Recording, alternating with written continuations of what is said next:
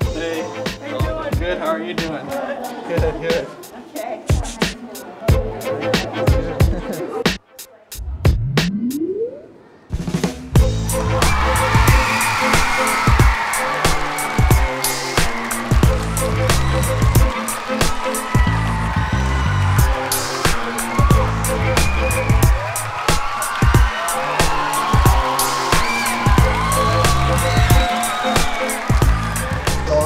Really, really proud of him and everything that he's accomplished.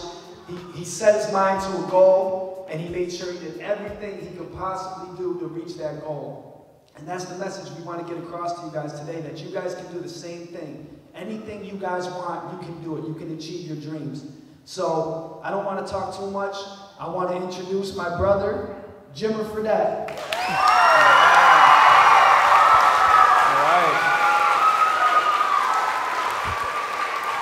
All right. Thank you very much. All right. How you guys doing today?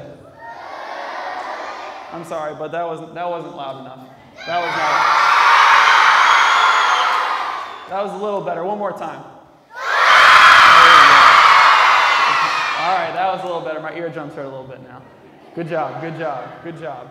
All right, I just wanted to tell you guys, thank you so much for letting me come. I'm, I'm, uh, I'm so glad to be here today. Uh, I've been around the country this last couple of months, but um, I'm glad to be able to be here and to be able to talk to you guys today. And hopefully you guys will take something out of this. And if not, at least you get to have a, an assembly, you know, you get out of class for a little bit. So that's always good.